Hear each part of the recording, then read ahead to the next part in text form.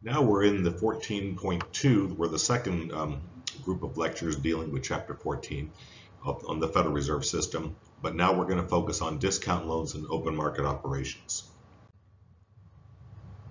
We mentioned discount loans before, but let's go now and explain a little, little more detail what they are. Now, the Federal Reserve um, can make loans, but they can only make them to banks. And they make them to banks when banks need to borrow reserves. Let's go back and think about the reserve issue. Go, let's use our bullet points here to, to keep this in track. So private banks earn income by making loans. That should be pretty obvious. That's the business that banks are in. So they try to lend, fully lend out their excess reserves. Doesn't that make sense to you? If the, if the Federal um, Reserve requires that you keep 20% of your total deposits sitting in cash, what would you do with the rest of your deposits? Well, of course, you'd go be looking for loans. You'd make car loans, house loans, business loans, credit card loans, all the different kinds of loans that banks make that earn income. So banks really don't want to keep excess reserves if they can help it because excess reserves are by definition cash in the vault or a free deposit sitting at the Federal Reserve System, and those don't earn any money. So banks want to lend out their excess reserves. Now, at times a bank may fall short of satisfying the reserve requirement. What does that mean? Well, if banks are aggressive and they're searching for loan customers, it may turn out to be that in a particular week, they've actually made more loans and therefore got rid of excess reserves to the point that not only did they lend out the excess reserves, but they kind of stepped over the line and lent out some of those reserves that were required to be there. Now, the Federal Reserve doesn't have you arrested for doing something like that, as long as, of course, you plan on getting back in line at some point. What you must do every single week, every bank has to file a report on this issue. If they are falling behind in their reserves, meaning they've lent too much money out compared to the amount that they're permitted to lend out, they can borrow the reserves and then put the reserves in the vault or put the reserves in the Federal Reserve. Now, I usually use the vault because it's a nice, easy thing for us to put in our heads as to what the bank is physically doing. So whether they're putting it on reserve at the Federal Reserve or putting it in reserve in their own vaults. It's essentially the same thing. It's sterile cash that earns no interest, so banks don't really like to do this. They only do it because it's legally required of them to do it. So if one bank has a lot of deposits but doesn't have very many loan opportunities, picture a small bank in South Georgia with lots of farmers depositing lots of money in the bank, and so there's tons of money sitting in the bank, but there's not very many businesses in town, so there's not really much use for lending. And so the bank has all these excess reserves that they haven't lent out. Another bank, say in Atlanta, has tons of businesses to lend money to, far more businesses than there are depositors to put money in the bank. So the bank has lent out too many of their reserves. And so the Citibank in Atlanta could go borrow the reserves that are excess held by the South Georgia Bank. Now, of course, that's just an example. It could actually be city to city bank. You know, whatever banks happen to be, some of them are aggressive lenders and have lent out all of their reserves, and other banks still have excess reserves laying around. Now, the market in which these loans take place is called the federal funds market, and the interest rate that the bank that has the excess reserves, that's lending the excess reserves to the bank that's short of reserves, is called the federal funds rate. So that should make perfect sense. Federal funds are the money that are that's being borrowed back and forth, borrow or lent, and it's money that is excess reserves, and it's being charged the federal funds rate. Now, that rate is determined by supply and demand in a market, not by the government. That's not the government's rate. That is a competitive market rate. Now, the Federal Reserve can also make loans of their own, because so far through the federal funds market, we're talking about one bank lending to another bank. So it's kind of like a peer-to-peer bank-to-bank loan. Now, sometimes a bank, instead of reaching out to another bank to borrow reserves, can, reach, can go to the Fed and borrow money directly from the Federal Reserve to put in the vault. And that would be called a discount loan. So the Federal Reserve directly makes discount loans to banks. Banks can make loans to each other through the federal funds market. So just so you recognize there are two distinct markets here. But of course, they're trying to accomplish the same thing. One bank ran short of reserves because it lent out too much money and needs to put reserves in the vault in order to have its legal requirements set by the end of the week. Now, let's think about what happens if the discount rate is raised. In other words, the Federal Reserve is lending excess reserves for banks that um, need the excess reserves. It's charging them an interest rate. What if the Federal Reserve raises that interest rate? What do you think um, starts to happen? Are banks really interested in borrowing from the Federal Reserve? Of course not. No one wants to pay extra for anything, so banks would cut back on the amount that they borrow. So, the fewer reserves that are borrowed, that means fewer loans are made, and that would decrease the money supply. So here's the chain of events. The Federal Reserve raises their discount rate. Banks are discouraged from borrowing the excess reserves. Therefore, the banks don't have excess reserves to lend out, and therefore the money supply is lower than it would otherwise be. Vice versa. In the next column of, of data on our slide, we see what if the discount rate was lowered? So the Federal Reserve says we normally charge 5%, let's charge 2%. So obviously, banks would look at that as, wow, money is cheap at the Federal Reserve. Let's go borrow it. When we bring it back to our bank, we will have excess reserves, and then we can lend that money out, and we can probably charge way more than 2% for it, so we'll make money on the deal. So obviously, if the Federal Reserve lowers their discount rate, banks have an incentive to borrow from the Federal Reserve, and then turn around and make loans to other people. And then through the process we've covered in previous lectures, there will be an increase in the money supply. So the Federal Reserve could do this deliberately in either direction, either decrease the money supply by raising the discount rate or increase the money supply by lowering the discount rate. Now let's go back to the federal funds market for a minute. Remember we mentioned that that's borrowing reserves by one bank from another, or is called the federal funds market. And the federal funds rate is the interest rate paid to borrow in that market. That federal funds rate is determined by supply and demand.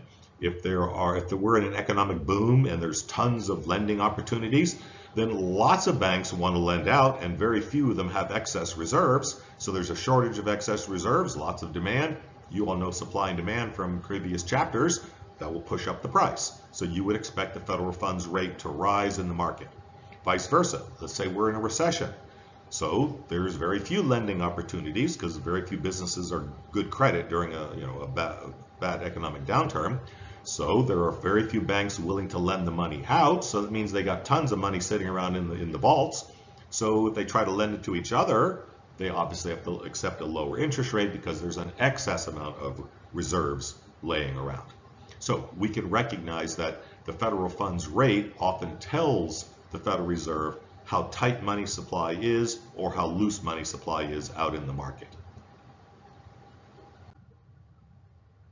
Now, there's a couple of other methods that banks have available to them besides um, borrowing from the Federal Reserve. Banks who, who need more reserves can also sell some of their securities. Now, what do we mean by selling their securities? Well, banks not only make loans, banks also invest in securities. In particular, they invest in bonds.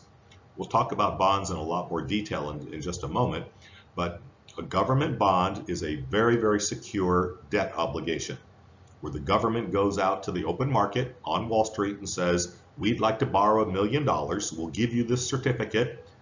You give us the million dollars and we promise to pay you 8% every year. That would be an example. Okay. So that would be an example of a government bond. Now banks, instead of making loans, let's say a car loan um, earning five or six percent, and you got a government bond paying roughly the same, the government bond is way safer. So many banks, instead of making loans, oftentimes prefer to have a portfolio of these government bonds or securities. They turn out to be very liquid as well because there's a huge market for them. So you can buy buy them on one day, and then turn around the next day and sell them if you need cash. Whereas if you had made a car loan, it's pretty hard to ask the person to pay off their car loan. You know, they took out a five-year car loan. They're not going to give you the money back except monthly payments for the next five years. But what if you needed all the money today? If you had a security, you could sell it. So banks, in order to maintain liquidity, oftentimes have a large portfolio of securities.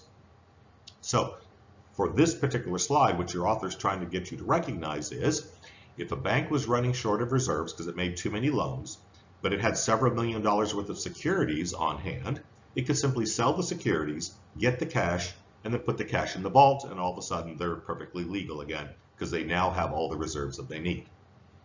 So the Federal Reserve can now influence banks' decisions on whether they're going to make loans or not by manipulating interest rates in the bond market. Let's take a look at how we do that.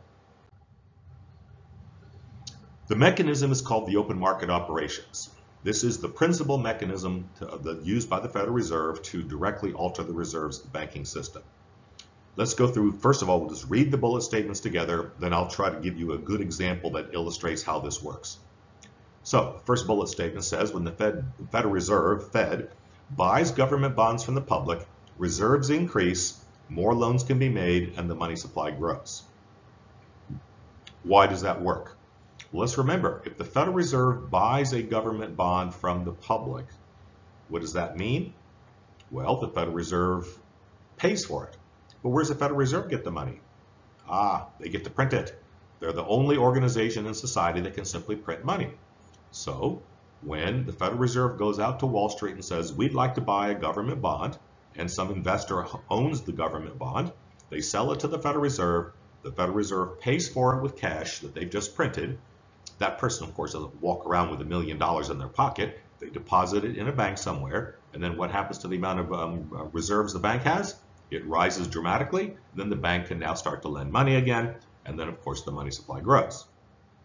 Vice versa. What if the Federal Reserve sells a government bond to the public? Well, then obviously an investor who bought the bond, let's again say it's a million dollars worth of bonds, the person has to pay for those bonds, so they write a check to the Federal Reserve. The Federal Reserve cashes the check and then pulls the money out of the bank. So what happens to the total amount of reserves in the banking system? Reserves decrease.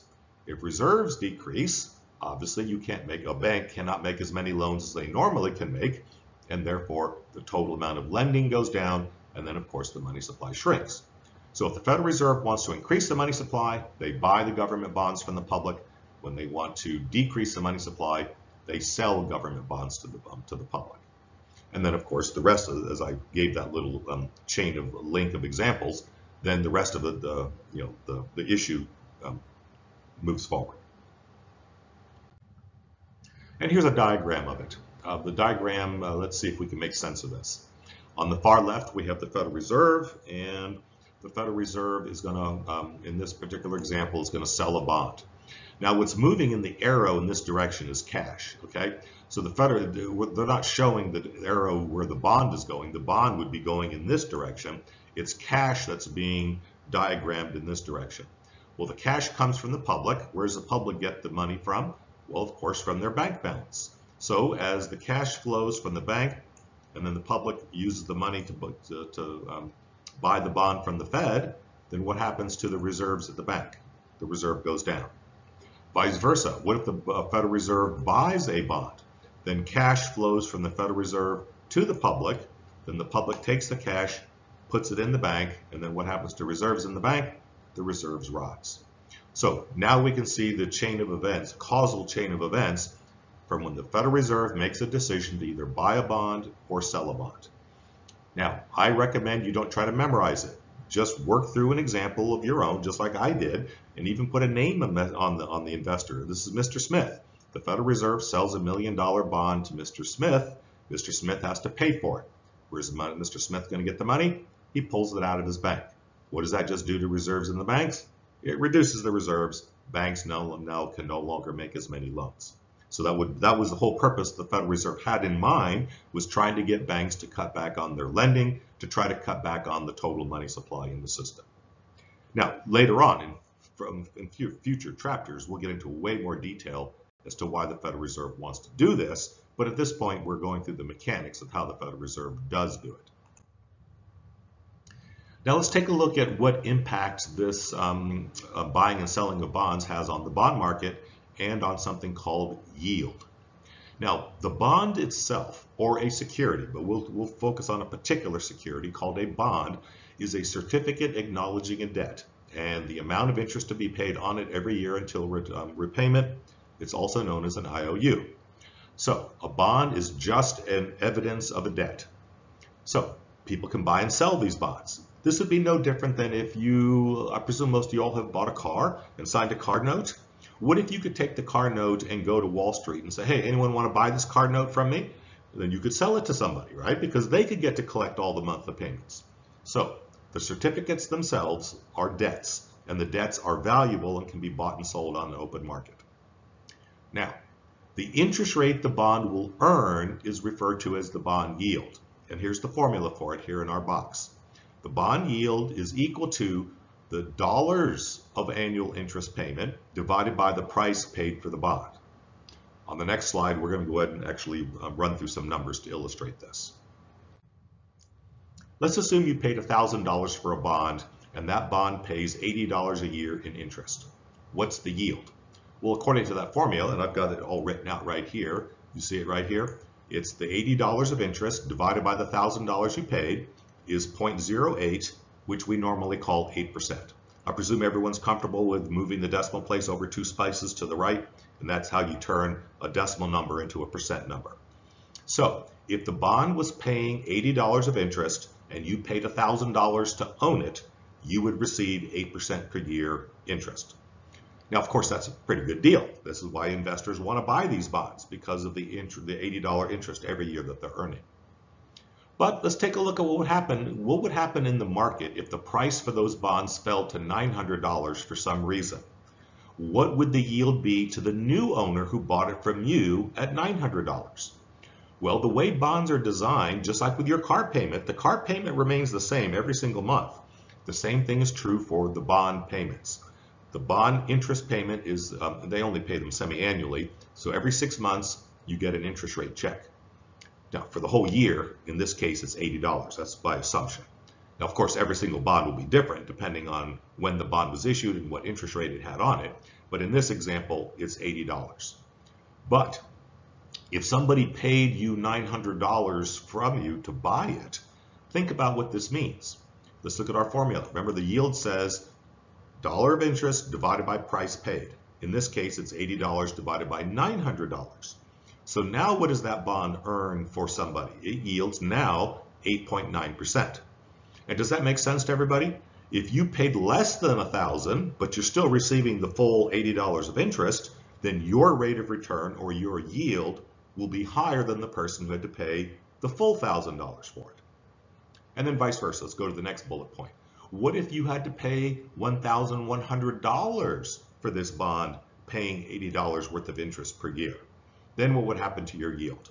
Well, again, you plug it in the exact same formula, dollar of interest divided by price paid, so 80 divided by 1,100, it now yields 0.073 or 7.3% per year. So the yield on a bond can change based on the market price of the bond. The dollars of interest never changes for the entire length of the bond, but the value of the bond changes depending on market conditions. And so now we start to recognize that if the Federal Reserve can manipulate what interest rate they're willing to pay or what price they're willing to pay for the bonds, they can change the yield. Okay? Not by changing the actual $80 per month, but by changing the value of the bond, the rate of return or yield earned by the person who buys it will now change. So our last two bullet points. Lower prices equal higher yields, and higher prices equal lower yields. That sounds counterintuitive, but remember, when you pay the higher price, you're not getting more interest. You're getting the same interest. It's $80, but now you're paying 1,100 to only get 80. So what's happening to the yield you're earning?